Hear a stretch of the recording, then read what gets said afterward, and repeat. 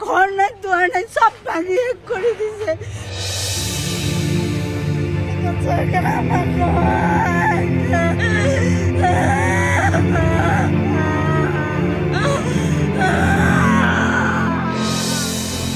तकलीफ जे बना के ये जमीन खरीदा था ये क्या है ये क्या है हाँ, ये क्या है শিলসাকুৰ উচ্ছেদ অভিযান চৰকাৰৰ এক একপক্ষীয় নীতি নেকি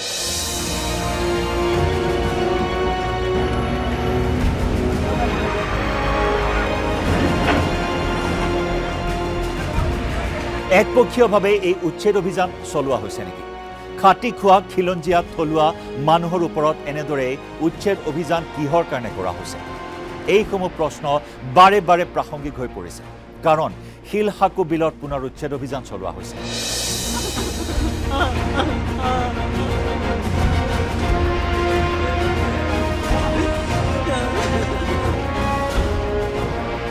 আমি দেখিবলৈ পাইছোঁ শুকুৰবাৰৰ পৰা কেনেদৰে উচ্ছেদ অভিযান পুনৰ আৰম্ভ হৈছে শিলসাকুৰ পাৰত শিলসাকুৰ বিলত।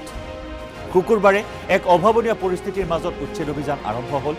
অসমৰ ইতিহাসত এনেদৰে প্ৰথমবাৰৰ বাবে অৰ্ধনগ্ন হৈ মহিলাই প্ৰতিবাদ সাব্যস্ত কৰিলে এক চূড়ান্ত পৰ্যায় পালে প্ৰতিবাদে আৰু এই চূড়ান্ত পৰিস্থিতিক নেওচিও উচ্ছেদ অভিযান চলালে প্ৰশাসনে জি এম ডিয়ে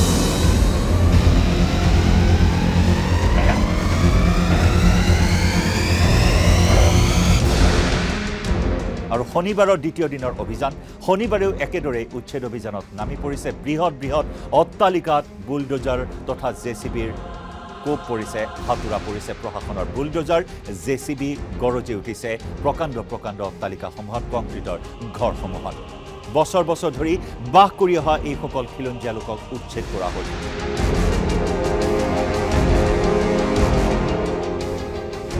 উদ্দেশ্য এটাই যে গুৱাহাটী মহানগৰীত কৃত্ৰিম বান ৰোধ কৰা হ'ব। কৃত্ৰিম বান ৰোধৰ ক্ষেত্ৰত শিলসাকু বিলে অপৰিসীম ভূমিকা পালন কৰিব।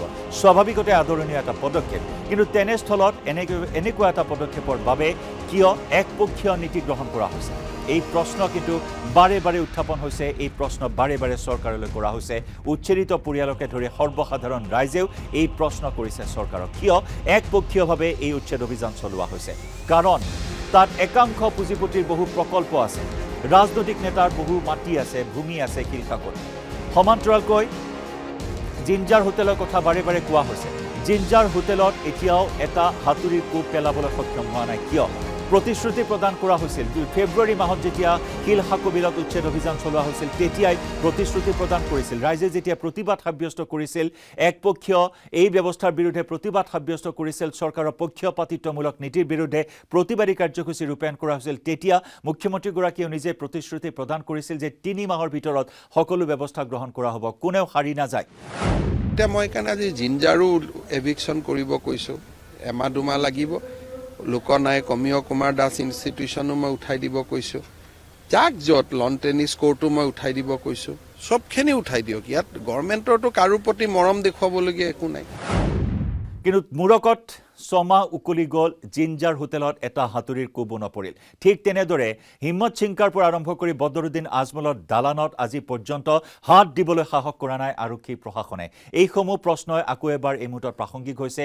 এই প্ৰশ্ন উচ্ছেদ অভিযান চলাৰ লগে লগে আকৌ কৰি গৈছে। উচ্ছেদিত লোকসকলে লগতে সৰ্বসাধাৰণ জনতাই। কিহৰ বাবে পুঁজিপতিসকলক বৰপীৰা পাৰি দিয়া হৈছে? কিহৰ বাবে খিলঞ্জীয়াসকলৰ ওপৰত এনেদৰে উচ্ছেদ অভিযান চলোৱা হৈছে নিজৰ গাঁঠিৰ ধন ভাঙি এটা এটাকৈ ঘৰ নিৰ্মাণ কৰা হৈছিল সপোনৰ ঘৰ এখন তাত সজা হৈছিল আৰু সেই সপোনৰ ঘৰখন চকুৰ সন্মুখতে থানবান হৈ পৰাত ভাঙি চুচুৰময় হৈ পৰাত এতিয়া শোকৰ বন্যা বৈছে শোকাকুল পৰিৱেশে বিৰাজ কৰিছে এক অভাৱনীয় পৰিস্থিতিয়ে বিৰাজ কৰিছে শিলসাকুৰ বিলত। কিন্তু এতিয়াও সগৌৰৱেৰে জিলিকি আছে সগৌৰৱেৰে থিয় হৈ আছে পুঁজিপতি গোষ্ঠীৰ সেইসমূহ বৃহৎ বৃহৎ অট্টালিকা বৃহৎ বৃহৎ প্ৰকল্পসমূহ। মই এই মুহূৰ্তত জনাম বদৰুদ্দিন আজমল জিঞ্জাৰ হোটেলেই নহয় আন একাংশ পুঁজিপতিৰ বৃহৎ বৃহৎ অট্টালিকা তাত আছে। সেই অট্টালিকাসমূহৰ বিৰুদ্ধে ব্যৱস্থা লোৱা হ'ব বুলি কৈছিল এটা সময়ত অৰ্থাৎ ফেব্ৰুৱাৰীৰ উচ্ছেদ অভিযানৰ সময়ছোৱাত। কিন্তু আজি পৰ্যন্ত কিয় ব্যৱস্থা গ্ৰহণ কৰা নহ'ল? কোন সেইসকল পুঁজিপতি? সেইসকল পুঁজিপতিৰ প্ৰতি কিয় দৰত এতিয়াও ৰাজ্য চৰকাৰ বা প্ৰশাসনৰ? সেই প্ৰশ্ন এই মুহূৰ্তত বাৰে বাৰে উত্থাপন কৰা হৈছে। প্ৰিয় দৰ্শক মই এই মুহূৰ্তত আপোনালোকক জনাবলৈ বিচাৰিম জিঞ্জাৰ আজমলো নহয় আন কেইবাগৰাকী পুঁজিপতি আছে যাৰ বিৰুদ্ধে এতিয়া ব্যৱস্থা গ্ৰহণ কৰা হোৱা নাই।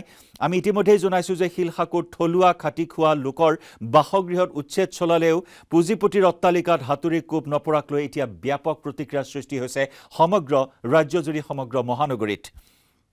বাৰে বাৰে প্ৰশাসনে খিলঞ্জীয়াৰ বাসগৃহত উচ্ছেদ যজ্ঞ চলাইছে কিন্তু তাৰ পিছতো বদৰুদ্দিন আজমলৰ যি বিঘাই বিঘাই ভূমি আছে অট্টালিকা আছে বনিয়া হিম্মত চিংকাৰ বৃহৎ আইডিয়েল হিল ভিউ অট্টালিকা আছে পুঁজিপতি ব্যৱসায়ী ৰয়েল হেৰিটেজ আছে তাত সৌৰ সগৌৰৱেৰে থিয় হৈ টাটাৰ জিঞ্জাৰ হোটেলৰ কথা ক'বই নালাগে সেয়া আমি কৈ আহিছোঁ আপোনাক।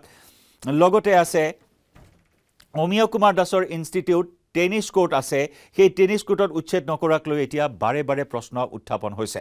মুখ্যমন্ত্ৰী হিমন্ত বিশ্ব শৰ্মাই গুৱাহাটীক কৃত্ৰিম বান ৰোধ কৰিবৰ বাবে বৃহৎ হ্ৰদ নিৰ্মাণ কৰাৰ কথা উল্লেখ কৰিছিল। সেই হ্ৰদলৈ গুৱাহাটীৰ পানীসমূহ পৰিকল্পিতভাৱে বোৱাই নিয়াৰ কথা উল্লেখ কৰা হৈছিল। কিন্তু তাৰ বাবে কিয় কেৱল খিলঞ্জীয়াসকলক বাছি লোৱা হ'ল। কিয়? ৰেহাই দিয়া হৈছে পুঁজিপতিসকলক।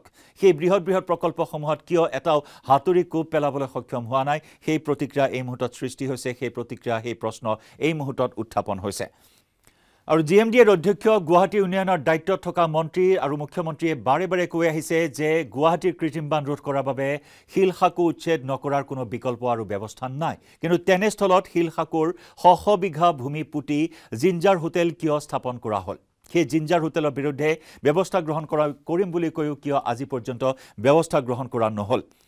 আৰু লগতে ইয়াকো উল্লেখ কৰিব লাগিব যে ফেব্ৰুৱাৰী মাহত যে উচ্ছেদ অভিযান চলোৱা হৈছিল সেই সময়ত বদৰুদ্দিন আজমলৰ ভূমিৰ প্ৰসংগত মুখ্যমন্ত্ৰীয়ে কৈছিল যে বদৰুদ্দিন আজমলৰ ভূমি লৈ লোৱা হৈছে।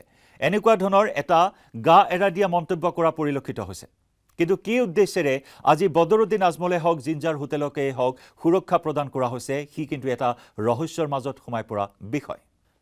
আৰু বদৰুদ্দিন আজমলে হওক বা জিঞ্জাৰ হোটেল হিম্মত চিংকাই হওক তাৰ উপৰিও জয়ন্ত মল্ল বৰুৱাৰ বিৰুদ্ধে উত্থাপন হৈছিল গুৰুতৰ অভিযোগ। শিলসাকু উচ্ছেদ বিৰোধী মঞ্চই গুৰুতৰ অভিযোগ উত্থাপন কৰিছিল যে বুন্দাজান পুতি পেলাইছিল মন্ত্ৰী জয়ন্ত মল্ল বৰুৱাই বুন্দাজান পুতি পেলাইছিল কিন্তু সেই জয়ন্ত মল্ল বৰুৱাই যি বুন্দাজান পুতি পেলাইছিল তাত কিয় উচ্ছেদ অভিযান চলোৱা হোৱা নাই? এনে অলেখ অজস্ৰ উদাহৰণ এতিয়া সন্মুখলৈ আহিছে। নাৰায়ণ ডেকা যিমান মাটি আছে ঠিক আছে আমাক নালাগে আমাক গোটেই মাটিখিনি নাৰায়ণ ডেকা আৰু জয়ন্ত মল্লৰ মাটিত থাকিবলৈ দিয়ক। আমি উচ্ছেদ কেতিয়াও ৰোধ নকৰোঁ উচ্ছেদ কৰিবলৈ। আমি বিজেপি চৰকাৰক। যি ৰাজনৈতিক নেতাৰ পৰা পুঁজিপুতি গোষ্ঠীক সুৰক্ষা প্ৰদান কৰি কেৱল খিলঞ্জীয়া থলুৱা লোকসকলক যি খাটি খাই হাজিৰা কৰি এটা এটা ঘৰ সাজিছিল সেইসমূহক কিয় বাছি লোৱা হ'ল?